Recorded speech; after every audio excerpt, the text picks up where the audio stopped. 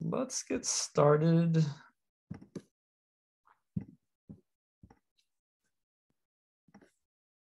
So today we're going to talk about charting libraries and this uh, third-party APIs, but um, and we're going to use char charting libraries as the example, and then we'll use Rapid API as just a way to grab some actual data. But let's kind of talk about, I know my group, you're probably going to want to use a charting library. I think the other group said you're not. Um, it's really, I mean, this will be a little on charting libraries, but this is also just on, you know, a little how to use some of the like a third party JavaScript library or like a third party API or third party, um, you know, Rails library um, with, with your projects. Um, because with, with code, there's definitely going to be things. Um, I mean, if you're looking at something like charts, that's probably something you're not going to do from scratch um, it'd be a lot of work to create your own charting library. Um, and you know, that, that would be quite the undertaking. If you, uh, and if all you wanted was like a simple like bar chart or something. And the other thing is like, there's, there's tons of, uh, in, in the software world, there's tons of open source, you know, projects that are available for you to use that are like free of charge or or you know maybe they do have a there is a fee associated with it and it's worth it because otherwise it would take you know a couple hundred hours to build it out yourself so and you know this could be for like charts it could be for tables it could be for you know ui stuff it could be for um, encryption like you, you're not going to want to write your own encryption algorithms you probably want to use a library for that. So there's there's tons of code that's already out there. So when when you're kind of trying to um, pick a library, there's there's some things you want to consider. Um, and you know, th- there's there's definitely going to be trade-offs. There's usually pros and cons, but um, when using you know third-party libraries, so I think there's some things you want to look at or things you kind of want to consider and kind of balance these things. So the first one is, you know, when you're looking for libraries, you want to see how well does it match your use case. Sometimes it's like gives you exactly what you need. Other times, you know, you're going to have to tinker. So, because uh, when we look at something like charting, we're going to see there's not just one charting library. There's going to be multiple we could choose. So in deciding which one to choose, this is one thing we want to look at. You know, does it match our use, uh, use case or how close is it to it? Another thing kind of side, like a kind of tangent of that is, you know, is the library customizable? And if so, how difficult does it seem to customize it? Um, so maybe, you know, this library is like matches 80% of your use case, but it seems very hard to customize it to grab that other 20%. So you kind of got to make that decision. Well, do I just kind of use that 80% or do I need to look somewhere else? Um, I think there's generally a trade off here. If something's more customizable, that probably is going to, um, more often than not, that's probably going to you know, maybe relate to that, it's going to be a little more difficult to use. Something that's less customizable is probably going to be a little easier to use. Um, when you're looking at like a repo, some things you might want to also look at is like, when was the last commit? This is, it's just kind of checking like, is this repo being maintained? Does it look like they're actively working on it? Are they like fixing issues? um, that kind of thing. How many stars does the repo have? Kind of like the popularity. Um, more popular library is more likely to be maintained. A more popular library is more likely to have, you know, questions on like Stack Overflow or like, like examples on like Code Sandbox. So there's going to be more resources generally the more popular a repo is. Um, another thing to look at is who is the owner. Um, you know, like for instance, React is maintained by Facebook. So Facebook is, you know, has the resources to kind of throw money at that project. You know, material design is maintained by Google. So that can sometimes be a good a good thing to look at because it's kind of like uh, once again kind of relating back to like is this going to be maintained is are they going to add features to it is it actually being used so facebook actually uses react so you know they're going to maintain it there's there's going to be ton of documentation with it um, looking at like the issues, sorry, we'll kind of look at this in GitHub. Kind of looking at how many open issues does this repo have? Once again, just kind of going back, does it look like it's being maintained? Um, so you can get, kind of go look through the issues. Are the issues well documented? Um, that's another place you can kind of like find answers to um, questions you have. You know, you, you, can even go explore the code. This is all open source. It's on GitHub. You know, some of these might be smaller, so you could even go in and tinker around in the code a little bit and check it out. Another thing you want to consider, like, do they have like demos? Try them out. Kind of once again, maybe matching how well does this match your use case. Um, and then you can also maybe code you know, maybe write a small code snippet using the library. Is it intuitive? Is it giving you what you want? So just some things to think about because, I, you know, a lot of the times when you're picking a library, there's a couple different options. And we'll see that with charts. So yeah, today we're just going to use charting as kind of like an example to kind of go through this process. Um, so we're going to pick out a charting library today. So we'll look at a couple different examples. Um, so if we're like specifically looking at a charting library, um, I might look at these things like what kind of charts do we need? You know, do we need these charts to be interactive? um, how customizable do we want it you know, what is our gonna what is our data going to look like that kind of thing so let's just go through and um, looking at some charting libraries and how like I would maybe go about doing this. So I think with today, if I'm looking at like um, you know, we're, we're maybe going to do this. We're going to use this COVID-19 API documentate uh, API. You know, it looks like this with like the data we're getting back.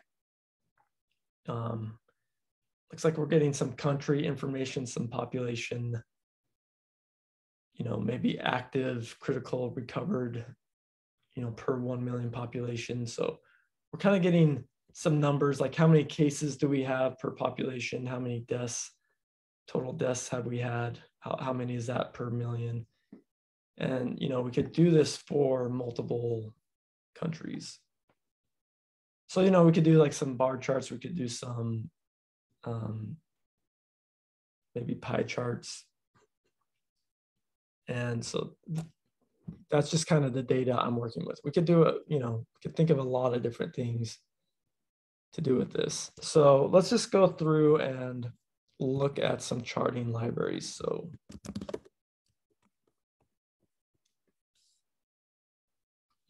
if I was like starting out from scratch and like trying to find a charting library, I might Google something like this. It's like a basic top, you know, React charting libraries. And just also know like a lot of these are just articles written by people, so there there's going to be some opinion in here, but it, it just it's at least going to maybe start giving me some ideas of the charting libraries out there. So I can go in and kind of just start,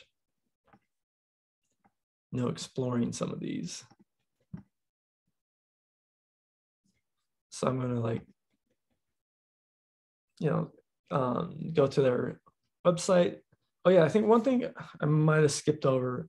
I really think a big thing with like a third party library is how well is this library documented? Um, because you know you're you're you're going to be using something you haven't used before, so you're going to want like a good guide, maybe. You know they they they have examples, so this one seems to have like a lot of different examples. They have some code. You know, they have documentation about, you know, the props you can give it. So just, just, you know, a quick look at this one. You know, I think this would be a good contender for something we want to use because um, it looks like it, it has good documentation. Um, I could go check out the GitHub. You know, just briefly kind of like looking at the commits. You know, we have one 22 days ago, 29 days ago. Could also just, you know, look at their commit history. And, you know, this looks like it's being maintained because they have like commits this month. They have commits, you know, from last month. So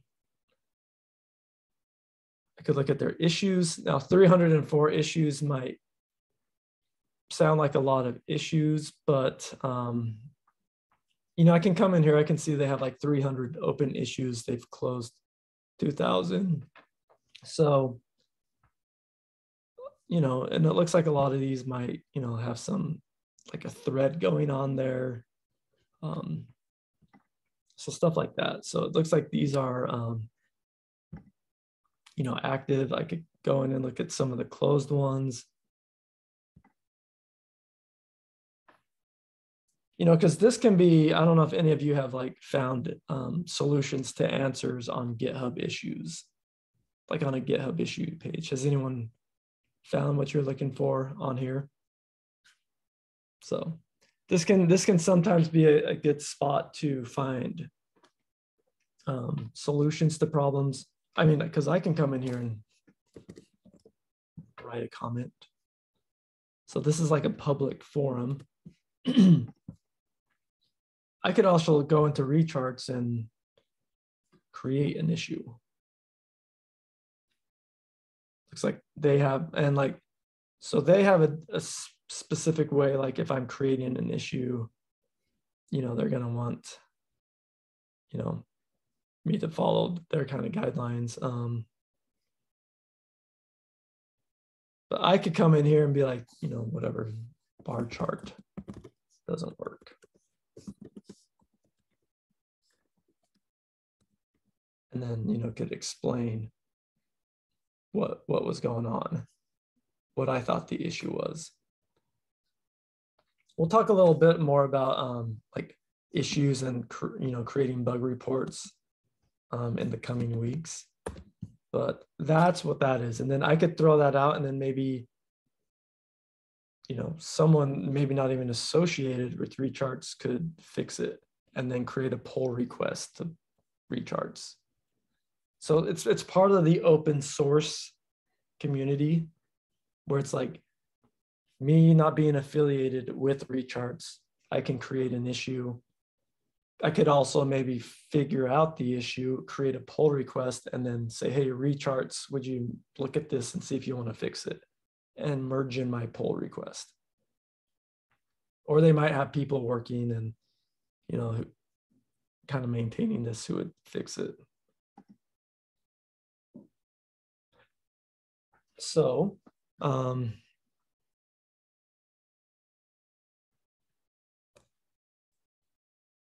there, there's that's just kind of the, the, the example you know i'm looking at maybe looking at the styling looks like they have you know really good documentation um, and it's like i said this is it being popular i know i can probably go find some other um, examples.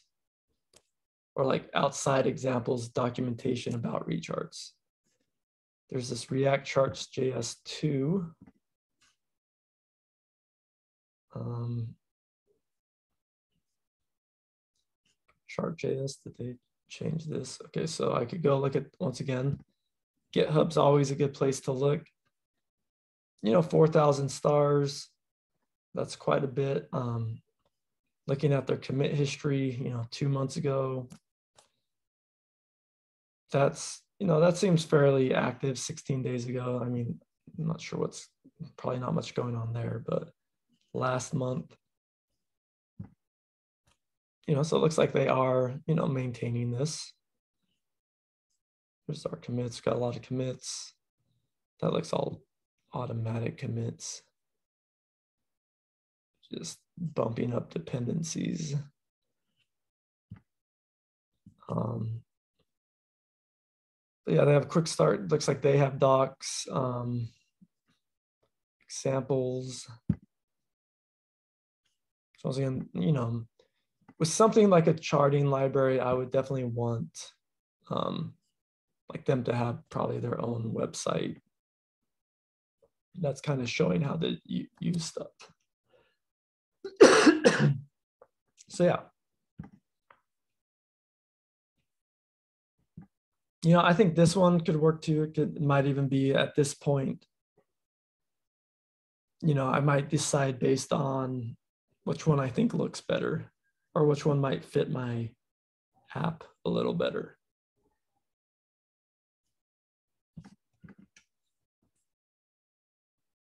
Cool. Um, but yeah, as far as customizability of these, you know, I, I think with a lot of this, like I'm kind of getting what I'm seeing.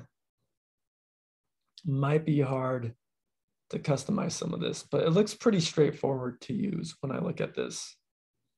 Um, there's another library. I wonder if in if this would come up in a search. Let's just do best charting libraries.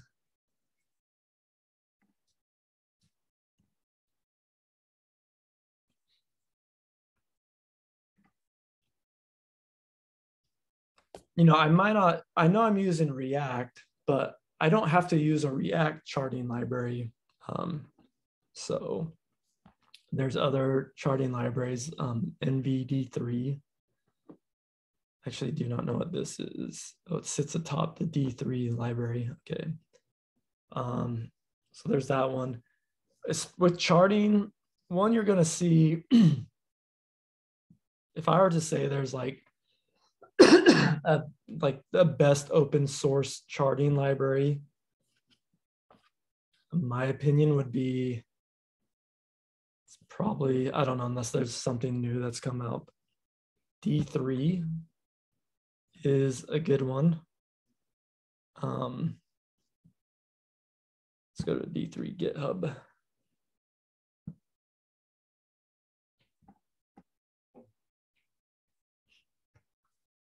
Like this has 22,000 stars. Oh, wait, sorry, it has 100,000 stars. um, this one uh, is, D3 is a, a really cool library. Um, where's their website?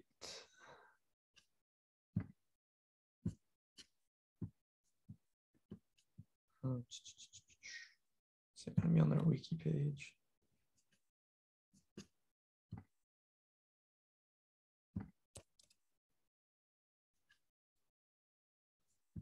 I mean, they are, they have tons of uh, documentation. I just want to maybe show some of the things your D3 demo. Is it? Yeah. So here's D3. Um, D3 is a library you can do like tons of uh, crazy graphs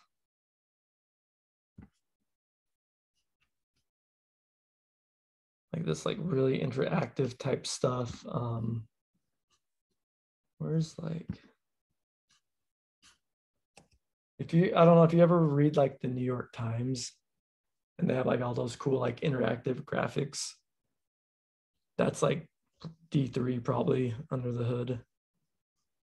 So you get like all these like nice cool interactive like charts you can create. Um, they do a lot with like the election stuff or like these, you know, US maps. Like here's one like, I guess, yeah, what direction the states are moving as far as political views. So I don't have, have does anyone read the New York Times or like see any like, especially like during like election cycle, you can like go zoom in and like go in and click on the map. That's generally, it's probably going to be D3 if it's the New York Times. Um, yeah, stuff like this.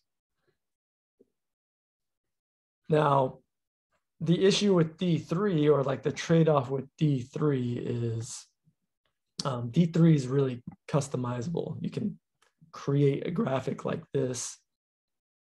Um, the trade-off though is it's not simple. it's more complicated. So if you really, you know, if you're working at like a news organization and you wanted to have like, you know, kind of more this crazy interactive UI graphic, probably I'm not going to be able to utilize that with recharts. Like I'm not going to probably be able to find that with recharts. Um, I'm going to have to pick a different library like D3 that gives me more of that customized, like where I can customize it. So, um, but yeah, it, there's a ton of documentation on D3 and there's tons of examples, but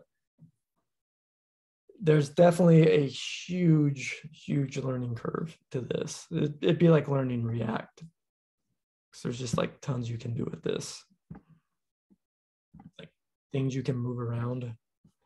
I don't know why you'd want to do that, but but and these are all interactive. I click on all of this and then it's kind of going through some quotes. So and a lot of um I'll just say this, a lot of these libraries like recharts, these React libraries. I bet if I went and looked at GitHub, yeah, see, recharts is a redefined chart library built with React and D3. So a lot of these libraries, they'll be using D3 behind this, the scenes. So it's going to make it a lot easier for us to use. Does that kind of make makes sense when you're like going through these libraries, picking them out. Um, there is usually generally this trade-off of how much customizability you get versus ease of use. And, and chart charting's like it's it's I like looking at charts because there's there's tons of different um, charting libraries that have you know different pros and cons. So I think for today we'll just use recharts, um, but you know, there's there's not like a right answer sometimes. There's because there's a lot of different um, libraries out there. It just depends what you want. But I think we're going to keep it fairly straightforward. So I think um, any of these would really work for what we want. So but I think like something like this, you know, might work well for us because we could maybe do like uh, the country, and then we might be able to do like the like cases per country or something like that.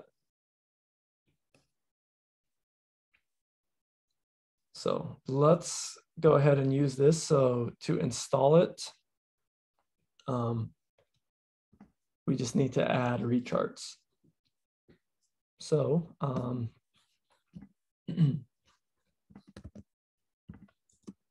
let's just go ahead and create a new project for this. So, and this will just be a React app.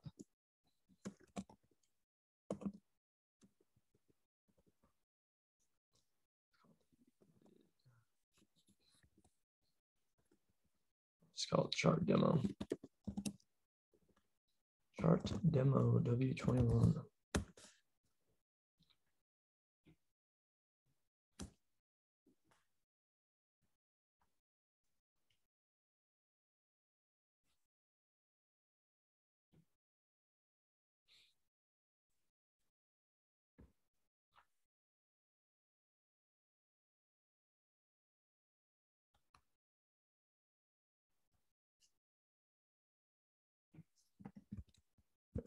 All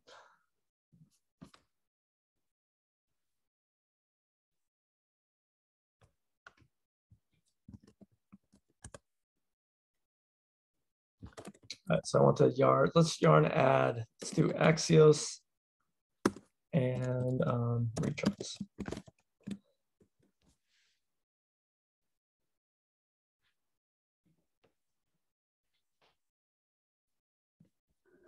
Those two libraries we're going to add.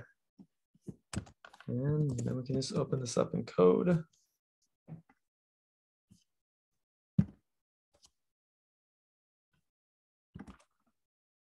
All right, I'm just going to create a new file and call this, um, let's just get a chart up here, chart demo, just to make sure that we can get this working. So I'm gonna um, just take, which one do we want to use? Sure, let's do a bar chart. I'm just gonna take this whole component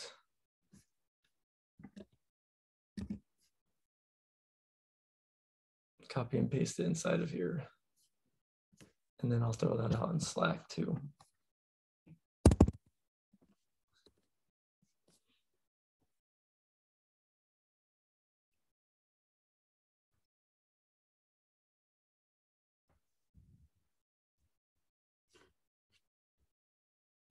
So it looks like they're using a class component. We could either switch this to a functional component or we could just keep it as a class component. Let's let's keep it as a class component just to uh, do a little review because we'll um, probably end up doing an Axios call here in a second, but let's just get this working. So in my app.js, just gonna get rid of this.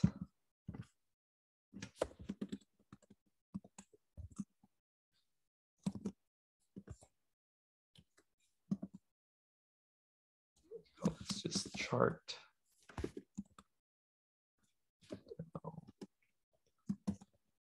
It's not auto importing, so I guess I'll just do that manually. Import chart demo. Um,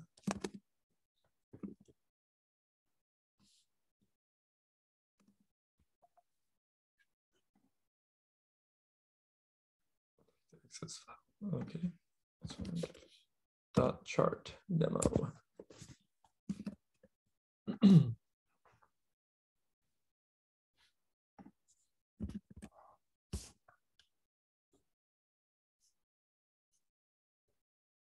So I'm going to start this up.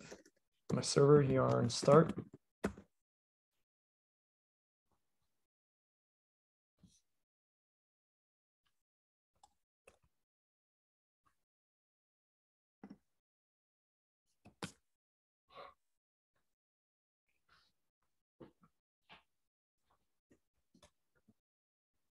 Hmm.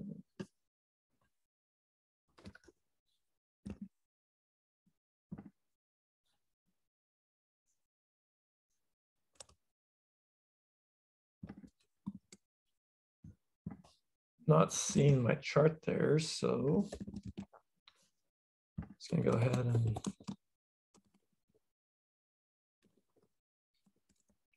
that is here. So I'm just gonna say chart here. Right, where's my chart?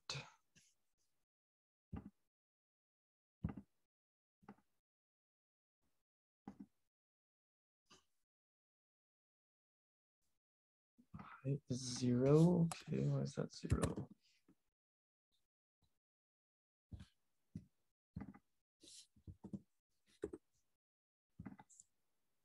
I don't know, there seems to be something up with my, this, I mean, I just copied and pasted this, it's not working. I have my data. I'm gonna get rid of this responsive container. Maybe that's causing some issues. Okay. I, I don't know why. Um,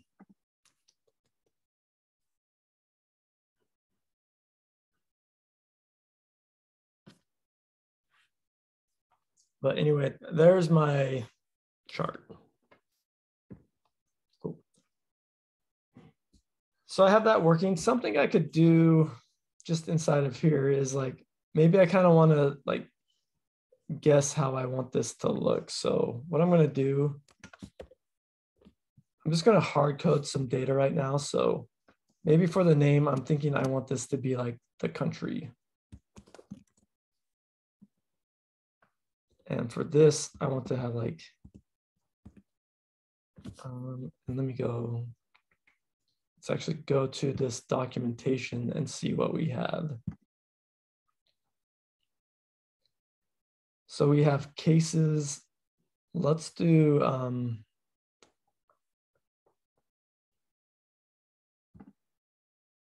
let's do new active, let's do new and active. And yeah, let's just do new and active for now. Or I could do, yeah, let's do new and active. New active. So instead of saying UV and PV, I'm going to call this new and active.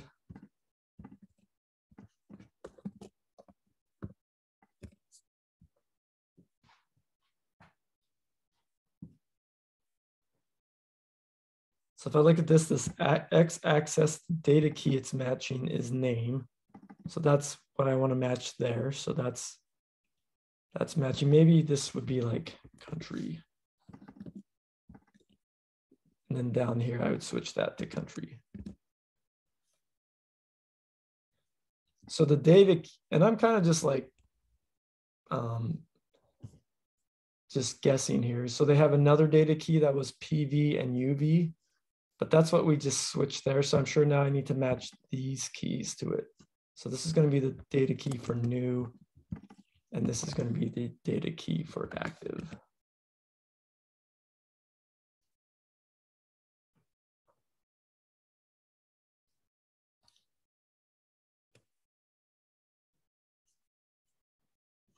I went back and looked at my chart. You know, now I have a chart that's, you know, where I have the country at the bottom. I have like new that's colored purple and I have active that's colored green. So I've just um, kind of changed their demo to match what I would want it to look like from what I'm kind of thinking. Um,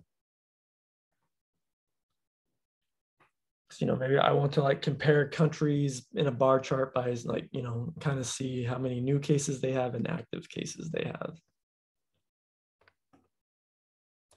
Cool.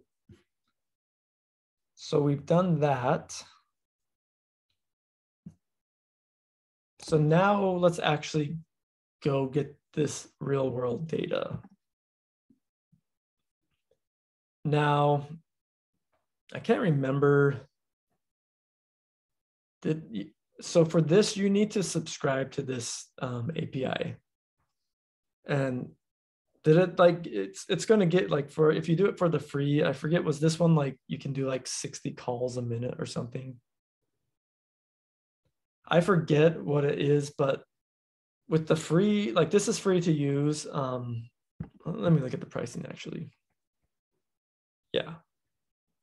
So we have 60 requests per minute. That's, you know, that's quite a bit for what we're doing. Um, but just note, like if you accidentally got yourself into like an infinite loop and did 60 requests in a minute, which wouldn't be hard to do, like they're gonna shut you down. So you'd have to like wait a minute for this to work.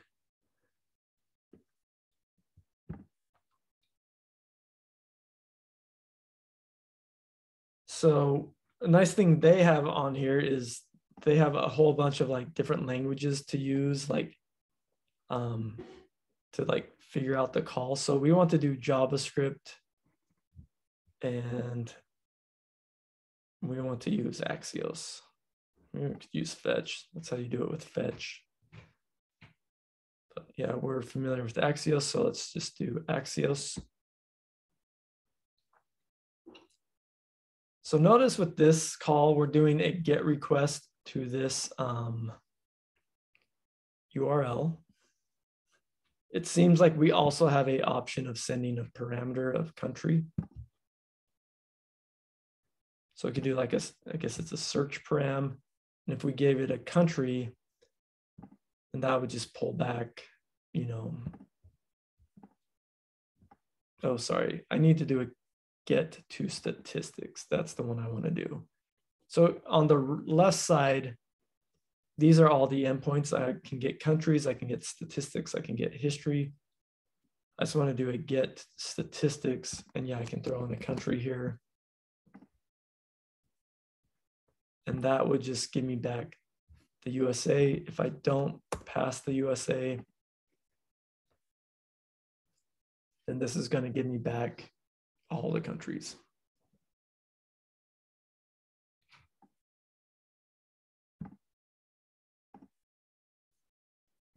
I wonder if we can separate these by comma, like USA. I don't think this is going to work. See if it allows us to grab more than one.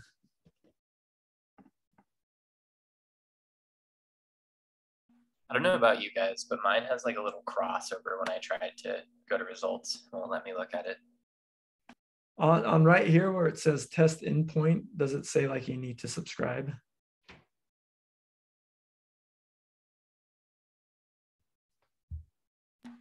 No, that fixed it. Okay. Yeah, a lot of these they're gonna want you. You're gonna have to subscribe, and some of them you might have to like pay, or they might have you. You can do it for free, but it would th- uh, still ask you to throw in a credit card, which I wouldn't do. Just just find ones that are free. So cool. So let's go back and let's grab it. So I'm going to grab statistics. I'm going to go select JavaScript. I'm going to do this Axios call. And yeah, we'll just grab all the countries and we can filter out the ones we want in the front end. So yeah, with this, because what, what you need is you need a, an API key, a rapid API key. And then you also have to be subscribed to activate that key. And this is the way how they, you know, they can check to make sure you're, you know, you're subscribed or you've done less than 60 calls per minute. So I can just copy this code here.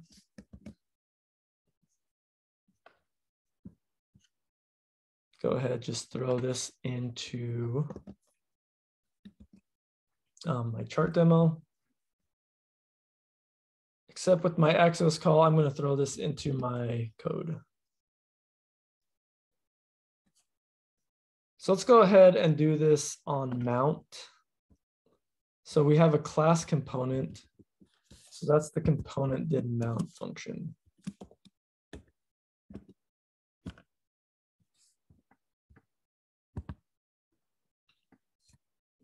So you go ahead and do this call.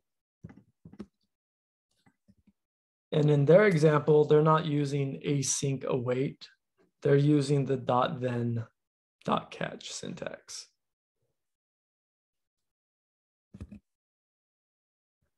So let's just kind of go through this step. So I threw it in my component did mount. I threw that Axios call inside of here and they're just console.log in it. So let's just see if this works.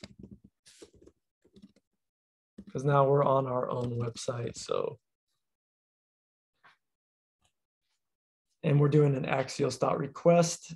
So it's a little different than like the axios.get. Here we pass it the options and the options is just an object that has our method, which is a get request to this URL. And then we're also able to pass these headers, um, which has our host, like, and our key for that. Come back here to my console.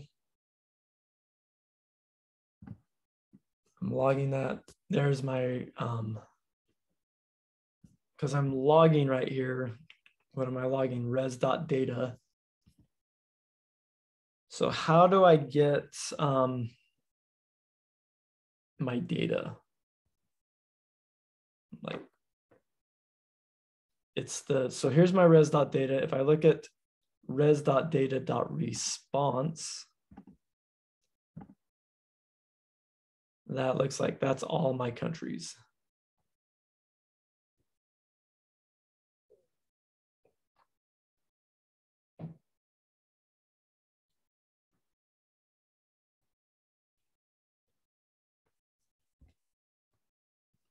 So let's say I wanted some country state const, um, or let's just call this country, or since we're in a class component, I'm just gonna say state equals. I'm not gonna use my use state hook because I'm in a class component. So I just create a state object right here. And let's say I want some country data. By default, that can just be an empty array.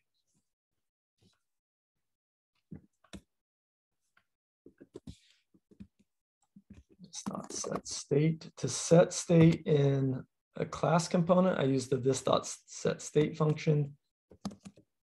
And then I can set any state here. So I want to set this state to res dot data dot response.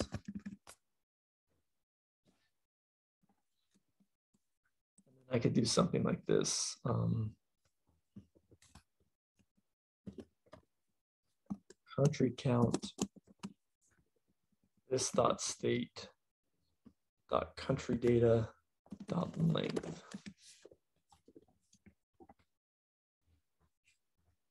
So I have this country data. When this component first, um, you know, mounts, this is going to be an empty array.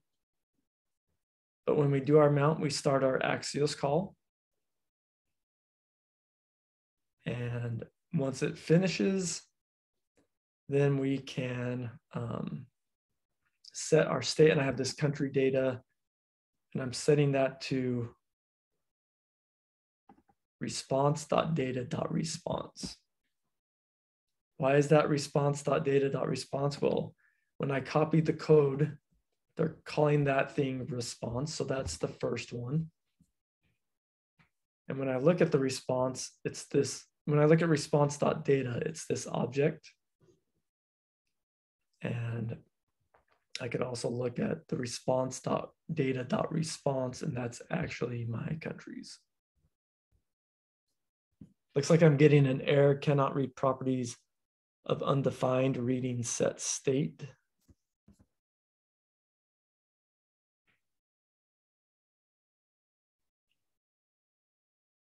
This thought, wait, what?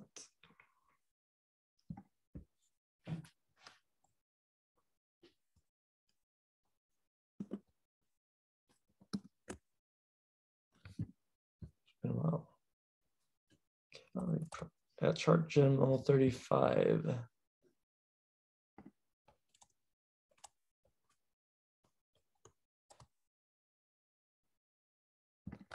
Why is that undefined? I'm to throw in the debugger right here.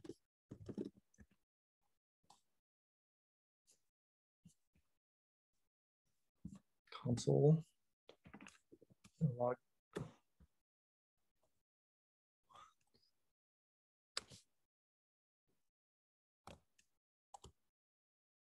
Component did mal. Why is this undefined?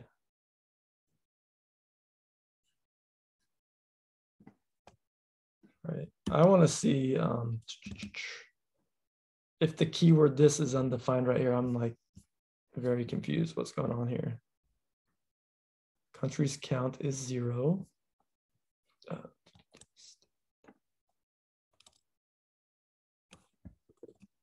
that's the, um,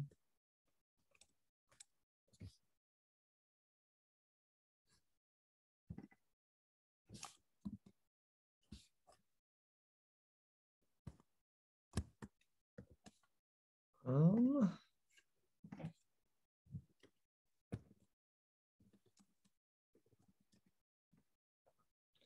very confused by my, this is undefined. Okay, no, it's there.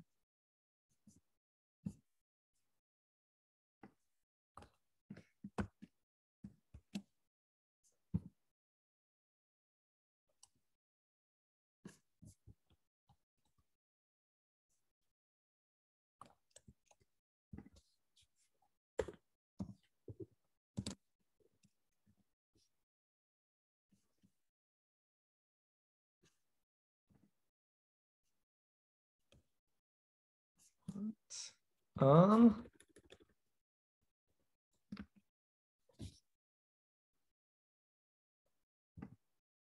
very confused why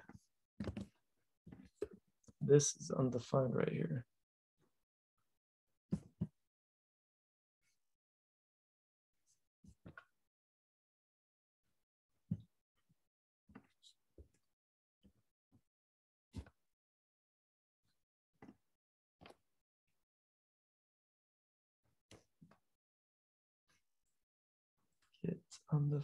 So it's defined here, but it's not defined in my request.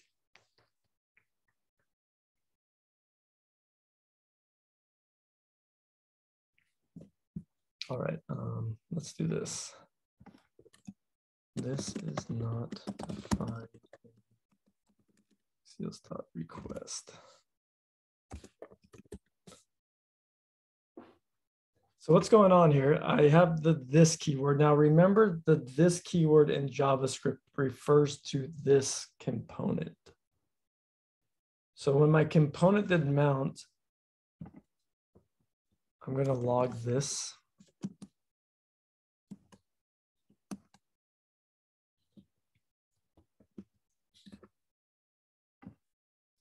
Then also show you this you know, in callback Axios.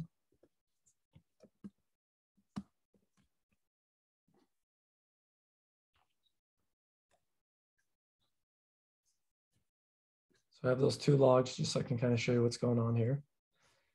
We have this, so when I log this, it's you know the example where it has props, it has my state, there's that country data, the array is zero. But when I try to log this in the callback of Axios, it's undefined. But I need this to be defined because right here, I want to call this function, this dot set state. Because that's where I actually have the data. But for some reason, the this keyword right here, and I sorry, I would call it something else because I hate saying this so many times, but right here, you know, this is undefined, which is bad. But I want to set the state here. Um,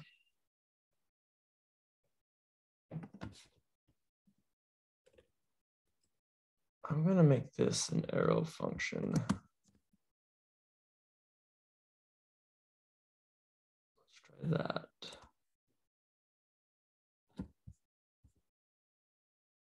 There we go. There it is. Okay. So by making this an arrow function, the, the, the binding of this in JavaScript is a little strange. Um,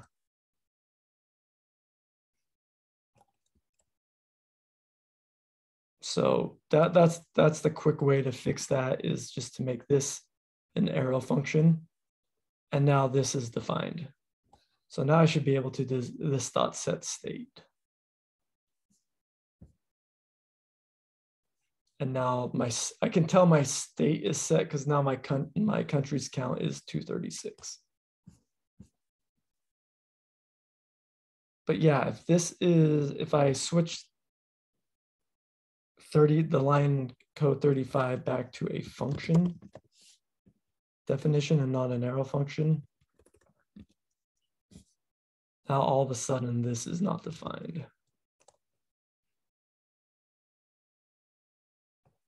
So there'll probably be a way to bind that. I don't know if I can do that right here.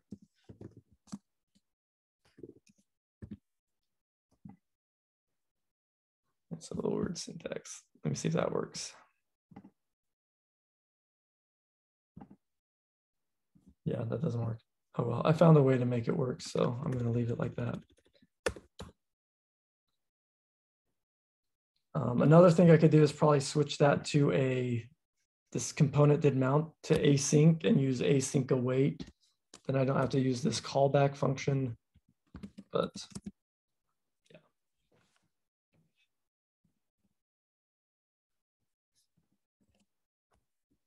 Just a good little review with class components. Um, so we have state.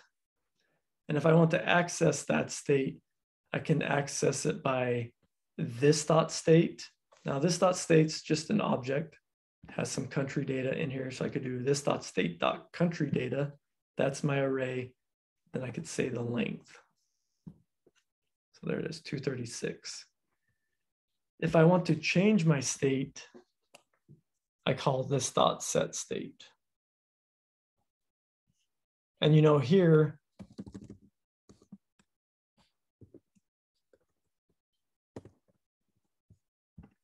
I can also, you know, I could have, I can just add stuff to this state object. So if there was an error, I could like set state error. No error. Let's just do a string for now, error.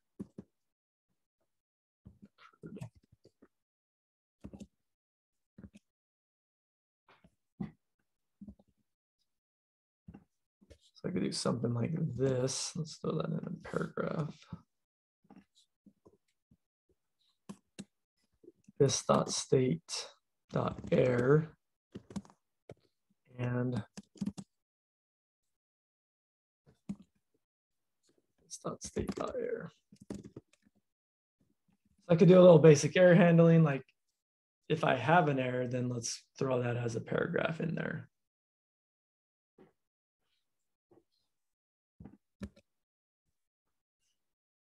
What doesn't like here?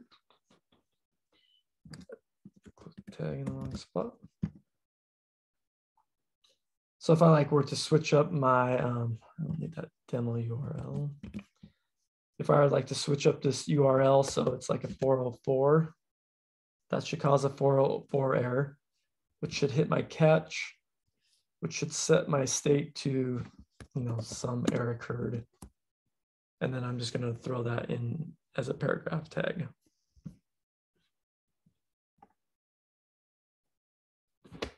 How's that working?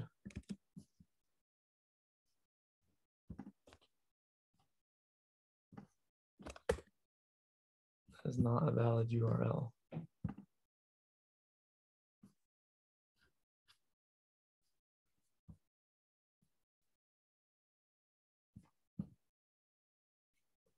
console it's almost like console.log here. I'm to get rid of this one.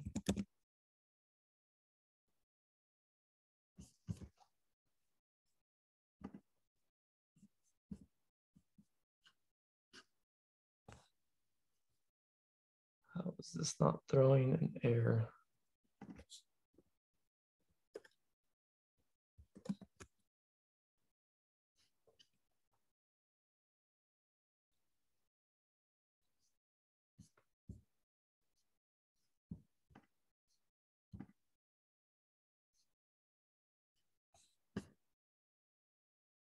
All right, maybe let's try this. I'm gonna switch that back so it's working. I'm gonna screw up this key. Will that cause this error to be thrown?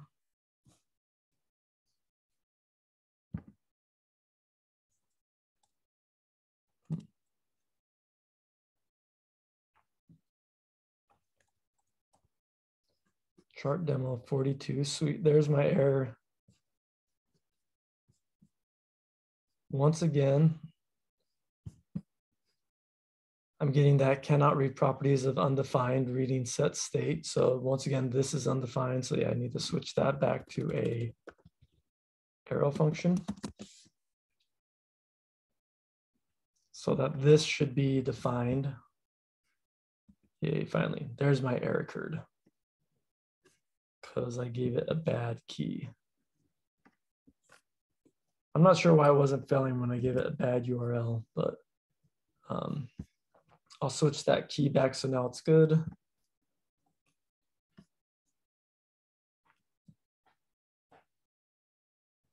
So just a little different syntax. If I wanted to switch this to like async await, so it might look a little more clear. Um, I'll, I'll leave this as a reference. This first one.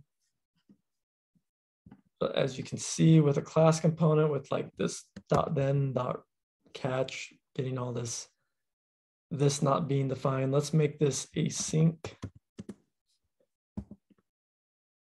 Clean this up a little bit.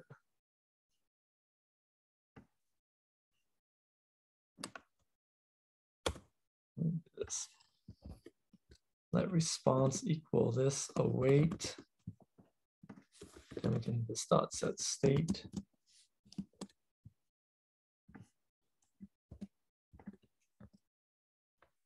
Put this all in a try catch block.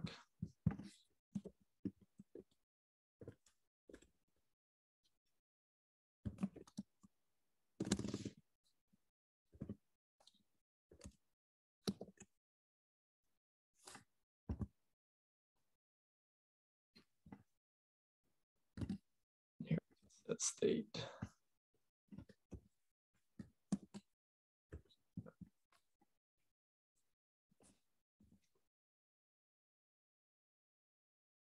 Oh, it's just my opinion that that the async await is you know a lot cleaner than the dot then dot catch, but you know still take the time to maybe at least um, kind of understand what's going on here because for example we might get, um, you know, the, the documentation how um, in Rapid API, they're giving it as a, you know, dot then dot catch. All right, so let's go through. I I needed to name, since I called this res, I'm going to change that to res.data.response.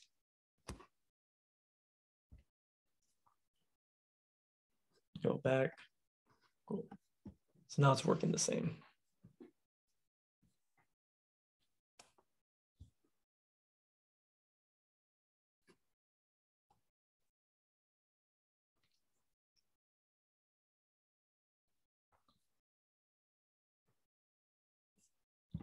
comment here. This is dot then dot catch.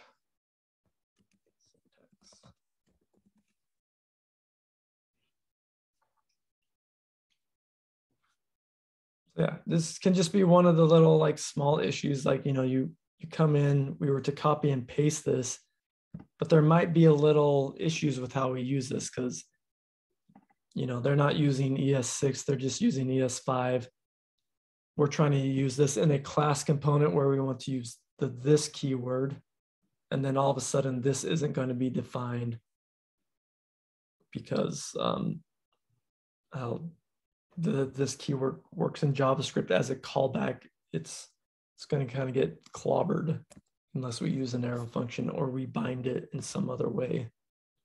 So, but we got it working. It's just, it's kind of one of those like things you're, you're, you know, you deal with when you're working with other people's work. You know, it's not always so straightforward. Probably would have been, we would have avoided that issue if we had just used the class, uh, a functional component, but it's a good little review. Okay. So the next thing, we've actually hooked up our, um, our React app to this API. So now we're actually getting back the data, which is nice because this is like real world COVID data. We didn't have to create the database for it and we also didn't have to like track it. But now we can go use this data in our website. Um,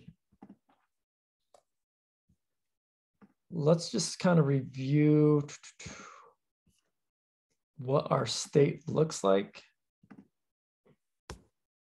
So in one object, so we have an array of these objects and where we have, you know, the country. So we're going to want to grab the country name. And then we want to, so it's going to be, if we're, if we're thinking about mapping over this, like I'm doing a country data dot map C, I'm going to have like C dot country. That's going to give me the country name. But I also want the active and new cases. So to grab that, that's going to be c.cases.active to grab my active cases and c. Um, cases.new.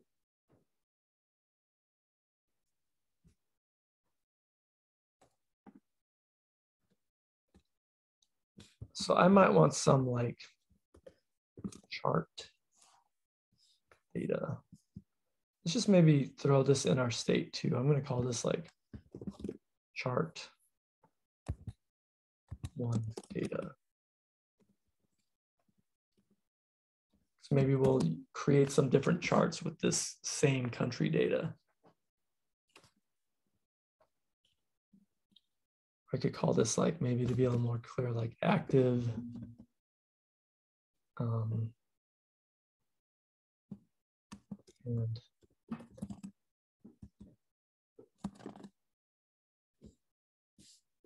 and new cases.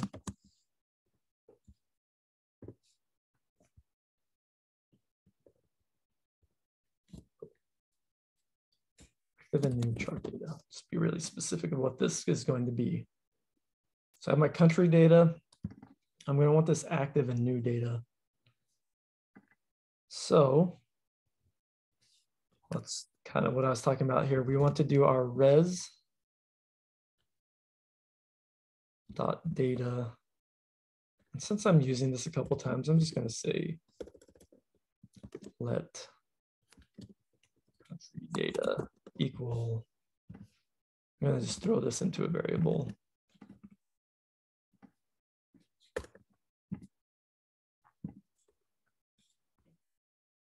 Then we can map over this country data dot map. So we're going to go through each country. And what I want to like, the data I want to create is, you know, I want to create an array of objects that look like this. So it matches what my chart wants. So I want an object with country, new, and active. And that's kind of what we were looking at in the React um, profile view. So I want to return an object that has country. Well, that's c dot country. I want to grab new. That was c dot cases dot new. And then I wanted to grab active. c dot cases dot active.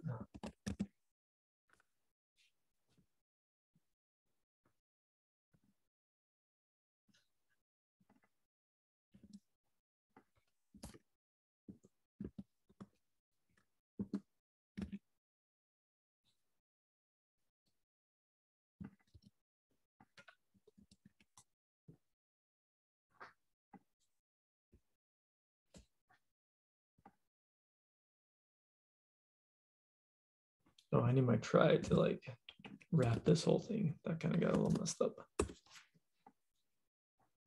So my component then mount, I'm going to grab my data.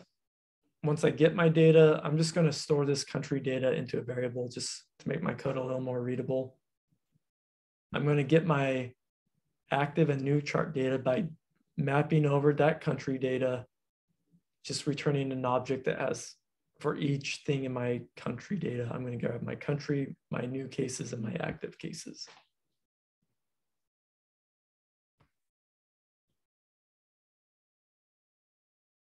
And the next thing I could change here, instead of using this hard-coded data, now I can use this dot state dot, what did I call it? Um, act, active and new chart data.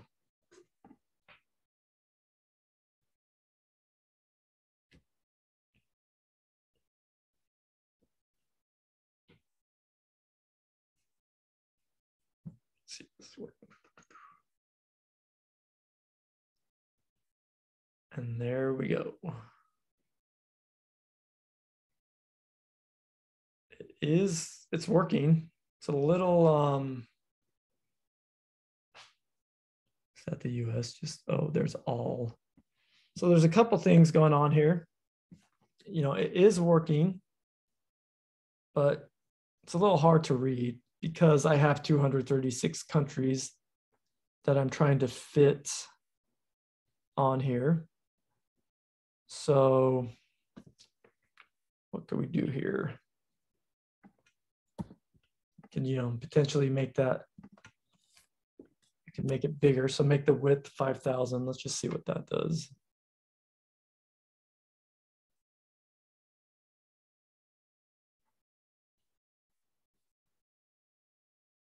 So that's kind of doing it. Um,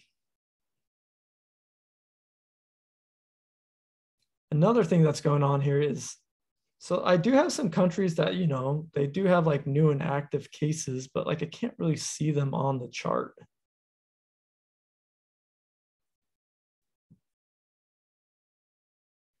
Partly this, we have some outliers. I mean, the US, and then also this all record.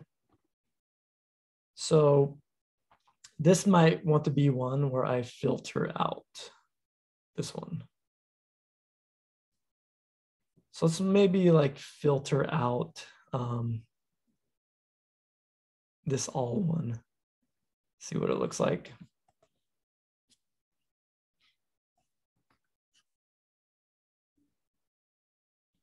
So before I map, I can still keep that there. Maybe I can filter.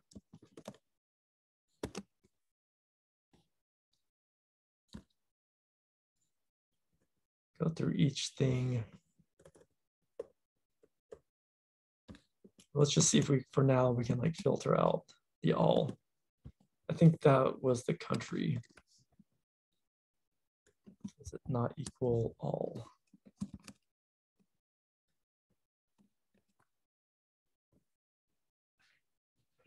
So remove that one that has all and then map over them.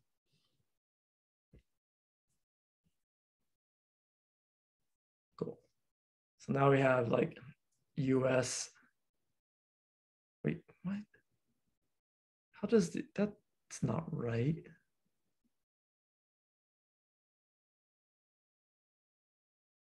What is that number? I can't read. Is that right? What is that? Is that 19 million? Are there really 19 million cases of COVID, like active cases? Is that right? Says that. What? That's what it says. that can't be right, is it? That sounds a little, I guess that's kind of close.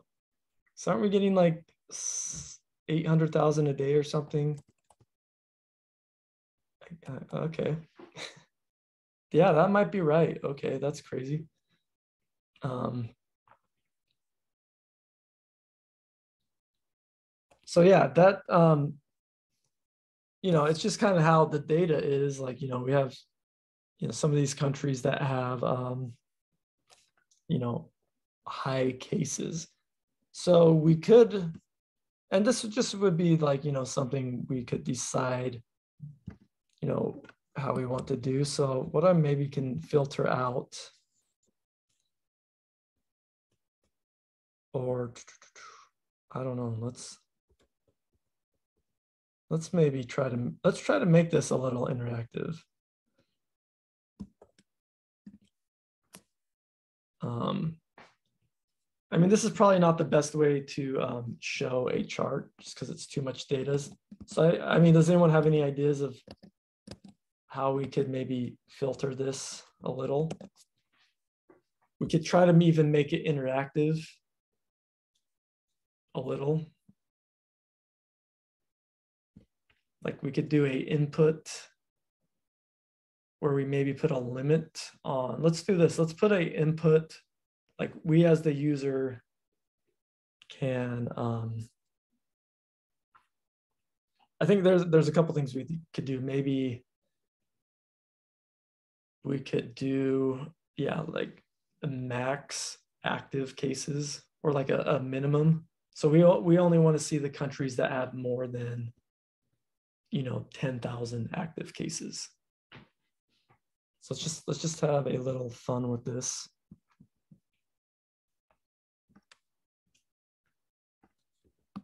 So let's do this. Let's do like a min active count.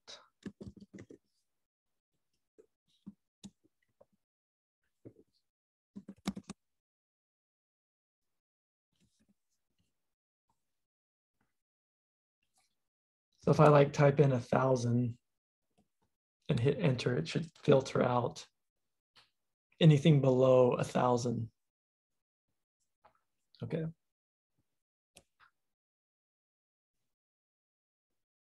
Um,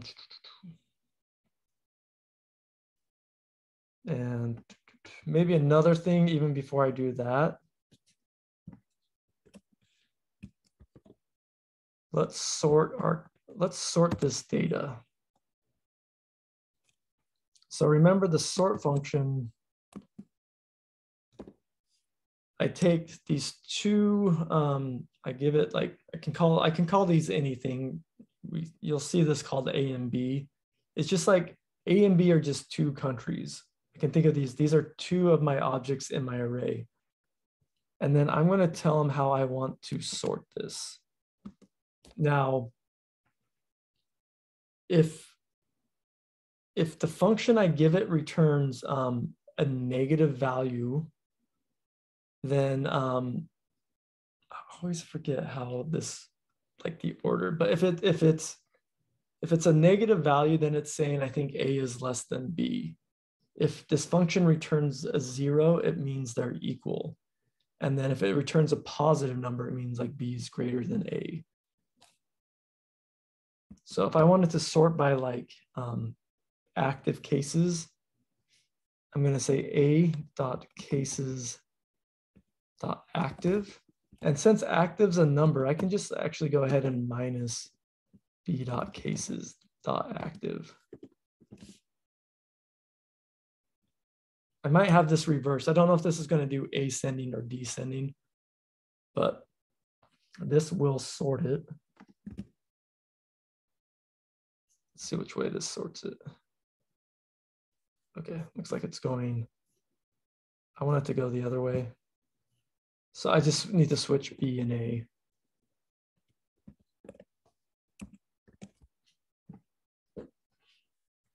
So I get my data, I sort it, now I'm filtering out that all, and then I map over it. Does the order of these function calls matter? Like sort, filter, map. Could I do filter, map, sort? It's kind of a trick question. Or could I, should I rearrange this? I mean, it's working. Let me just make sure like it's working, right? High to low. I would actually think it probably makes sense to filter, and then sort. Because I think um, sorting is generally like filtering out.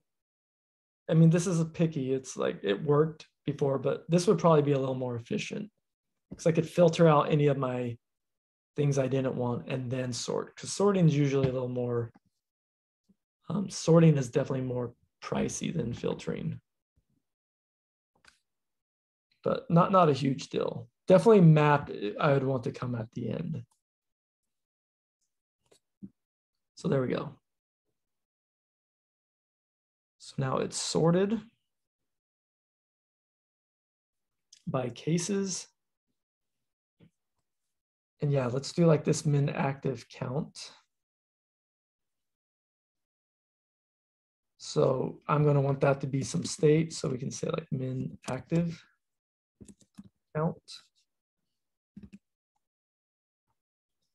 And then on this input, you have a value be this dot state dot min active count and on change. Let's just create a function this dot min active count changed write this function min active count changed. So and I definitely want to do an arrow function because this will bind the, this keyword. This will take the event. I can say this dot set state.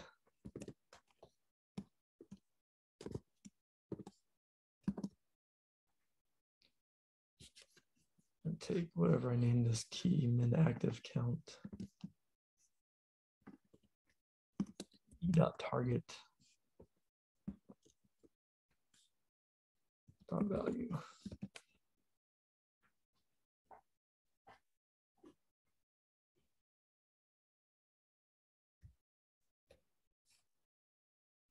see if this is, let's just see if our input's working. Min active count's not defined. Where is that? What line was that? Line 30. Probably forgetting this.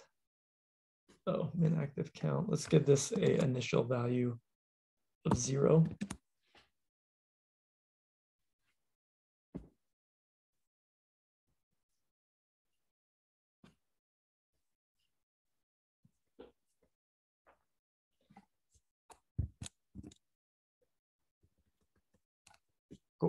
So that's working, at least my input.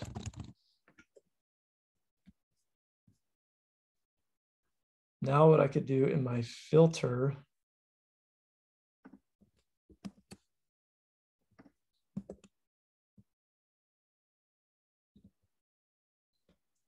I'm gonna write, just kind of wrap this in a new line because this might get a little more complicated. So now that I'm wrapping that in brackets, I need to return this. So as long as the c dot country is not all and c dot cases dot active is greater than this dot state dot min active count, then keep them.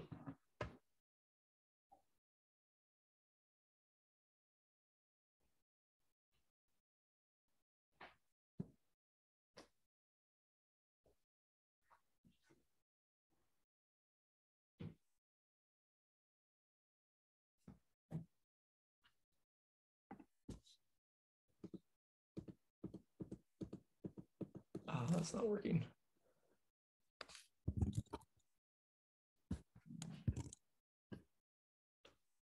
And, oh wait, sorry.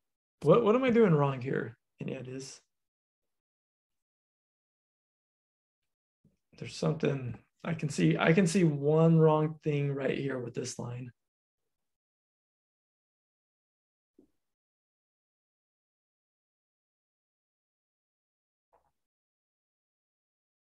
Do you need parentheses around it? No, I don't, I don't need parentheses. So think about what this, if country equals all and my active cases are great, greater than the min active count. So let's, let's remember what filter does. If filter returns um, true, this is where this like this logic gets a little you can get tongue twisted or like mind twisted. So if this function returns true, it's going to keep it. So reverse the order of the and statement. It's the order doesn't matter. It's not the order of the and statement. It's the the and statement. It needs to be an or statement.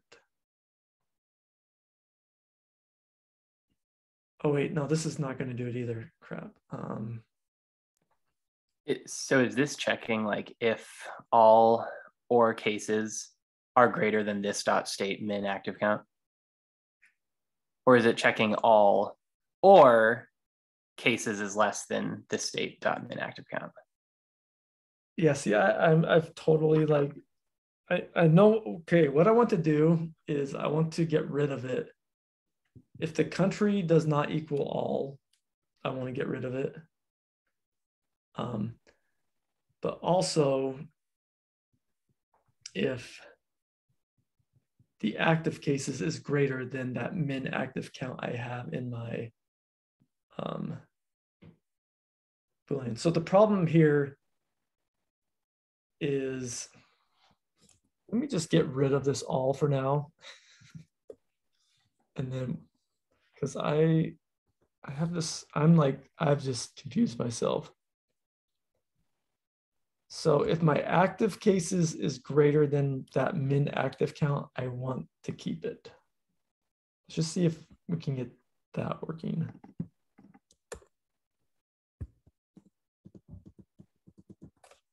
Why is that not filtering?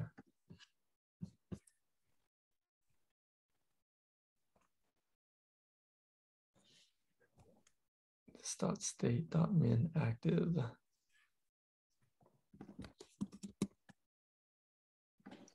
Um, you can also take a break now because it is um, 1220. Let's come back at 1230.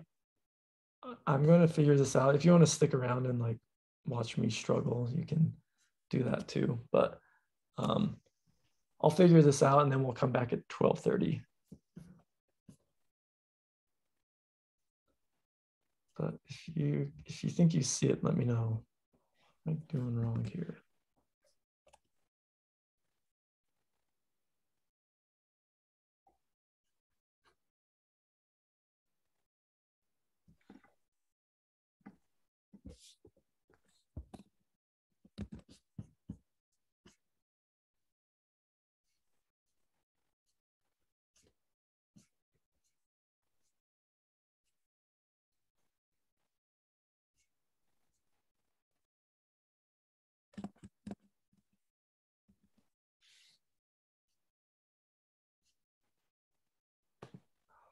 Okay.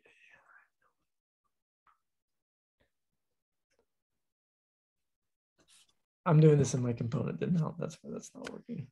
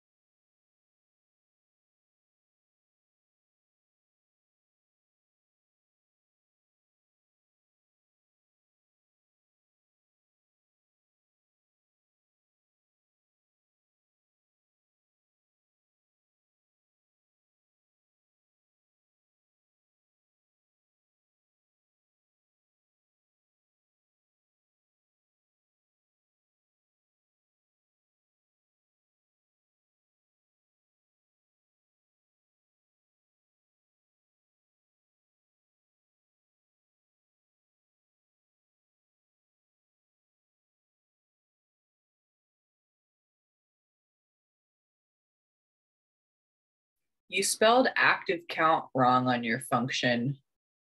Min actus count. Thank you.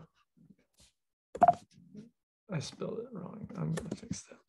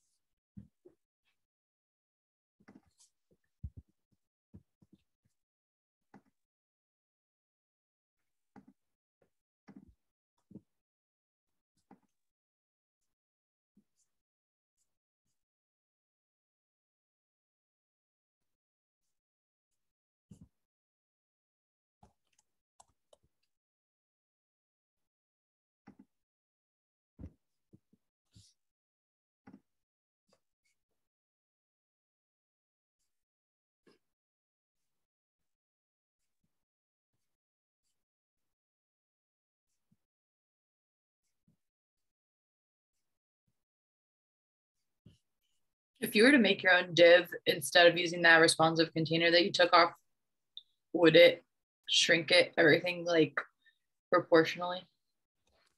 Um, well, the the reason I'm because I'm hard coding this width right now. Oh, I see. You have a width in there.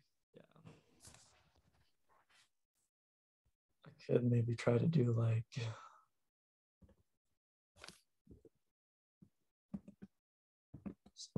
I don't know, this dot state dot what is I'm forgetting what I call this stuff.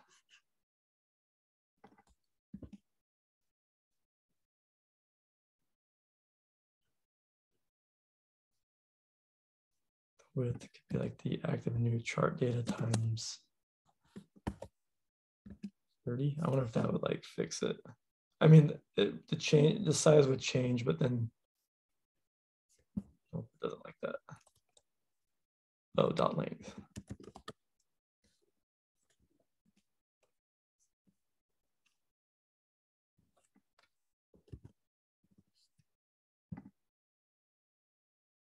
That would like keep the bars the same. I mean, my the size of my chart is going to change. I mean, yeah, it's it's it's just kind of hard to throw in, you know, 200 pieces of data into a, a chart. That that's just kind of one something I could do. I probably want to like break this up into different charts somehow.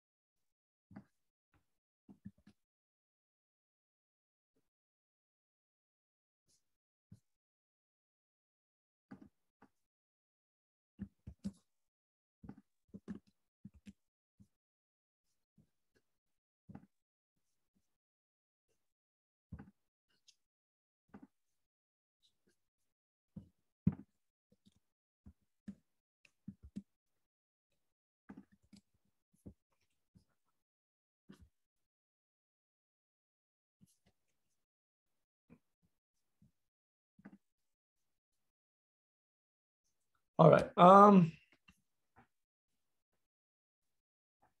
let's go ahead and get started. Um, just kind of wrap this up. So I, I figured out the issue. It's really like funny. Like I swear, like once I have to stop talking, it, I can like, it just makes it so much easier to find the issue. But what I was doing wrong um, was I was trying to do the sorting or the filtering in my component did mount. Now I do want to filter in my component did, did mount because I want to remove that country.all from that data. Um, but I want to do that when it mounts because I just, I just want to get rid of that. Um, I don't need it. But once my component mounts, it's not going to rerun this function. So I was trying to like filter out my, when I had this count here, it wasn't going to filter it out because that component did mount function was done. So what I did let me slack this out so you have it. Um,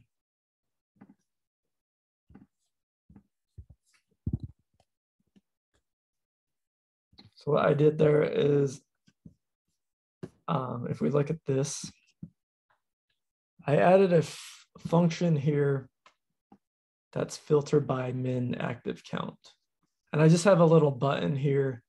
When you click on it, this is when it filters it. I could have also done this on the on change when I actually type in the input, but I just decided, hey, let's just throw this on a click function. So, um, so I still have my min active count change. That's going to set the state of that number. But then when I click on the button, that's going to um, filter out the data. Now, something just to take note of, I'm going through and I'm going to still go like my country data, that's like the original data I got back from the API call. Now I want to kind of leave that um, the same. Like I, I don't want to like change that array. I want that always to be there. So what I do when I filter by min count is I'm going to create a new array and I'm going to filter out over that. So that's where I do the check. Hey, is the c.cases.active, is that greater than that number? If it is, then keep it.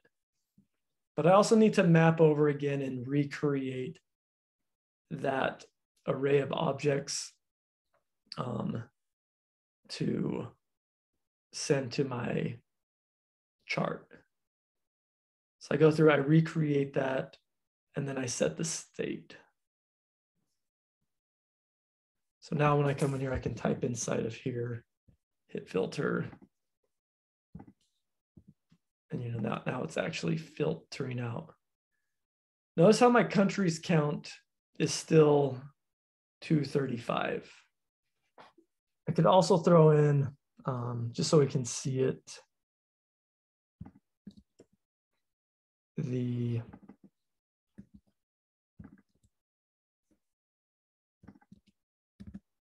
active and new chart data count. So when I start out, they're both 235, but once I start filtering, that's down to 115. So my chart data, I only have 115 items in here, but that means I can now like reset that back to zero, filter. I guess there might be, so the reason this might be 220 is there might be some that like I have some null values in there. When I originally got the data, there's probably some that have that were null. Does that make sense though? Why here? I think it might be um, a little tempting to do something like this, and you know, might not to instead of keeping um, this country data like unchanged because I could I could kind of just, you know, skip this process.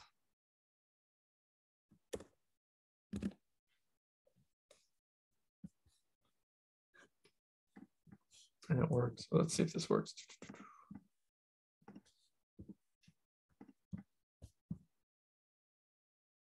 Oh, now this is different. This is, would be active.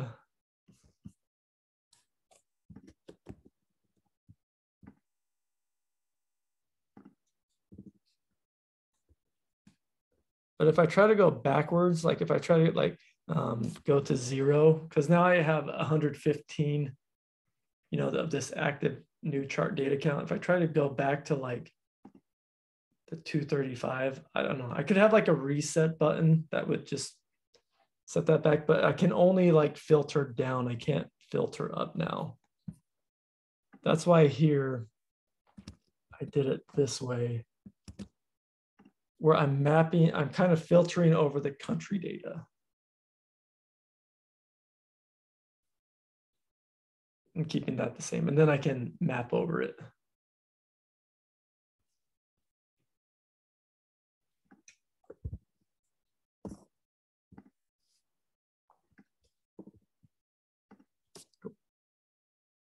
Another just kind of random thing I did was, and this is kind of like a hack for the width. I'm just grabbing my state active and new chart data dot length and times in it by 80. So that way, you know, it doesn't matter how many things I have. The bars are always going to be the same. Let's save this, save. And it just kind of overflows now. Now, this is probably not the best way to display all this information. Like to have this long scrolly bar chart. But maybe we did want this to be a bar chart. So an option we could do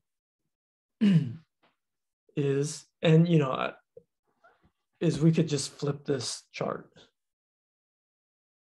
That way it might, you know, at least it's going to scroll up and down. Or we could like separate this into different charts. Um, or we could just, you know, but if we wanted, one thing we could do is like a vertical chart. So we can kind of just flip that the other way. But that's just, um, you know, working with charting data, um, it's just, that's kind of its own little challenge of how do you kind of make this visually, visually nice. So, um, so we could try really quick. Let's just try to make this vertical.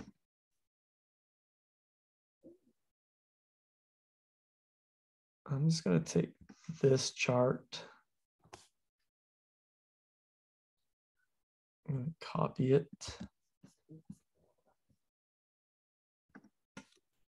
Right here. All right, let's see if we can somehow just, with very little changes, make this work. So I'm still going to do this dot state dot active data.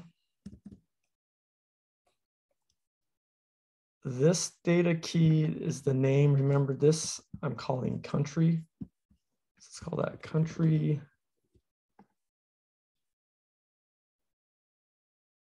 Um, it's kind of maybe a little weird because they're mixing, like in this example, they're looks like they're mixing like a a line chart and like an area chart.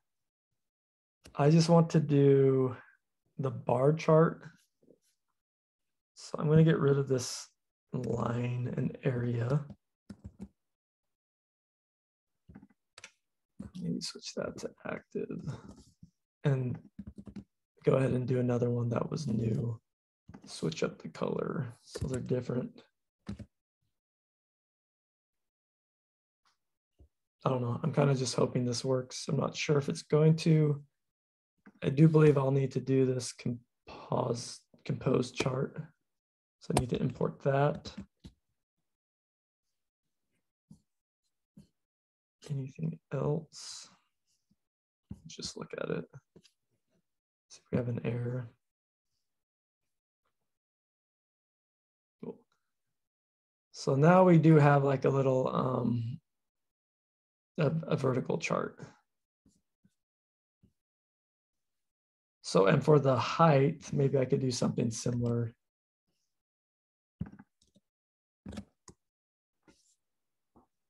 Maybe I don't need those to be so big. Let's try like 20. Let's see what this looks like.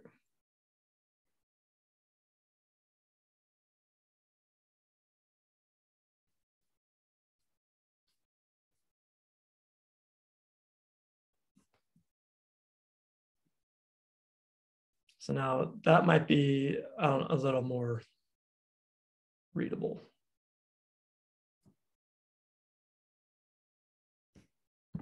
But this filter should work on both of them now since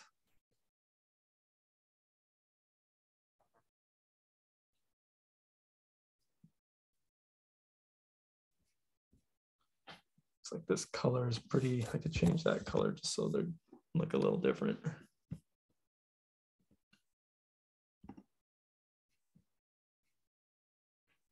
How is this so similar? Oh,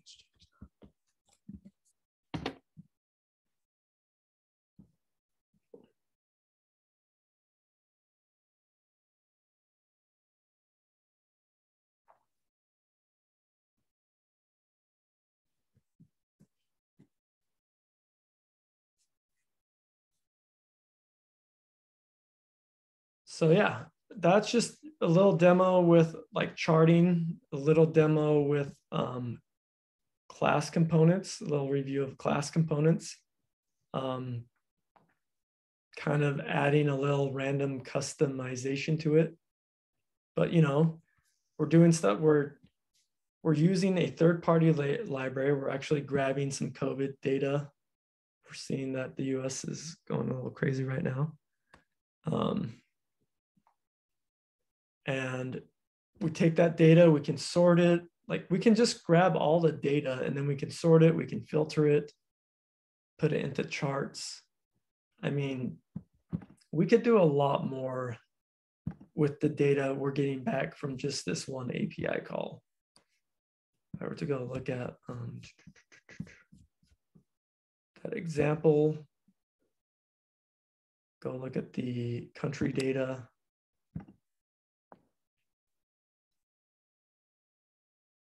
I mean, we could maybe go through and um, I think a, a nice, maybe a, a, cool chart would be, you know, we could go through and we could group all, instead of group doing it by country, we could maybe do it by continent. So we could create some sort of chart, you know, with continent data. Um, you know, we might want to go through, I think another interesting that would be interesting to do because a lot of this data can, you know, it can really get skewed because, you know, the, the US is a big country. There's like, you know, 300 million people here. So it might look like the US has a ton of cases compared to Germany, but, you know, Germany's also small, smaller. So we could go through, we have like, um, like a lot of these, like the USA, I mean, obviously they have like population data. They have test data. So we could maybe go through with this data and on the front end, you know, maybe draw out some more charts that, you know, aren't just about cases, you know, to total count of cases. Maybe it's like, you know, how many, you know, relative to the population, like we even get like how many tests per million population. So maybe we could like do some math to kind of figure out like, you know, maybe the US has more cases than China because we have a lot more tests or something like that. Um, yeah, it's, you know, this, this data can be, you know, there's a, a lot of different ways to look at it. But like, it's, it's kind of cool with like this API call, like we're getting back quite a bit of data. We could do a lot with this. You know, we have cases, active, critical, recovered, total, the continent, we have death information, like death per million population, new and total test information. So and that's just from like one API call. So this this uh, rapid API, there's, and that's just COVID. I mean, there's a lot of cool like little APIs in here. Do a movie database. I haven't looked at this one. We could just kind of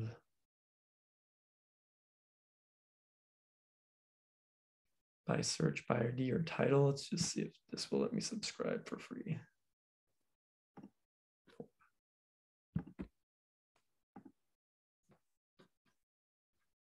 YouTube to MP4. That's cool. So yeah, love calculator. so yeah, there, there's there's a whole bunch of stuff here. Um, get percentage. Okay, that's cool.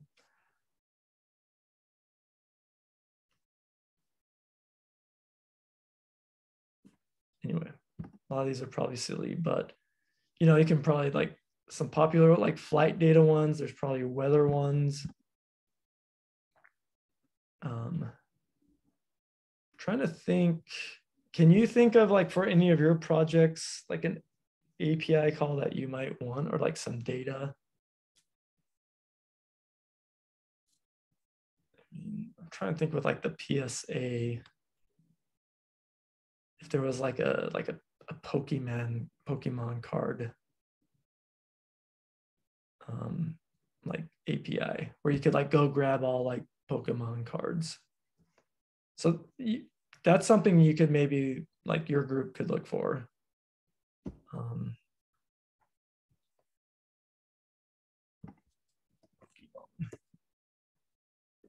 oh, I'm sorry, I'm just on weather APIs Pokemon. Is that how you spell Pokemon?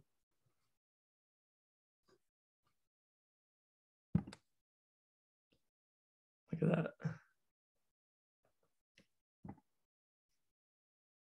Hard limit.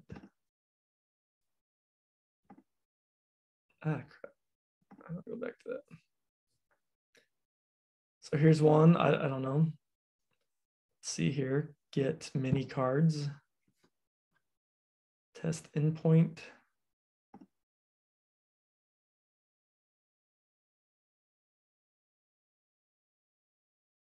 So I'm just doing a get request to whatever this URL is.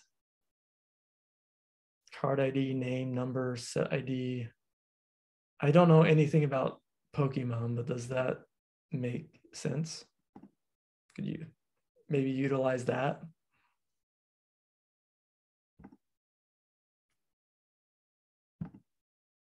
So that's just one object. There's a whole bunch of data on there.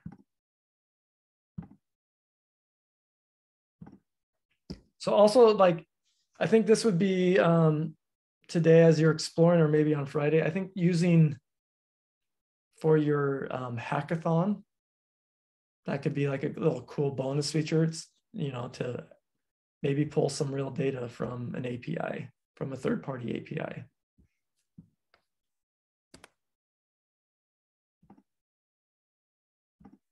Cool. Well, sweet. Um, I think that is it for me. Are there any questions?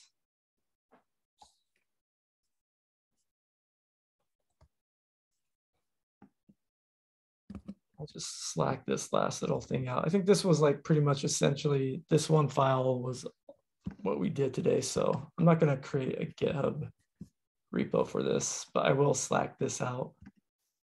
So yeah, if there's no questions, we can take lunch time is it? It's um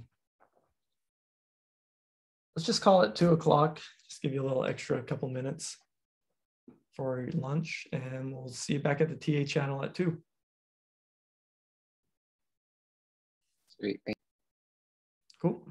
Have a good one.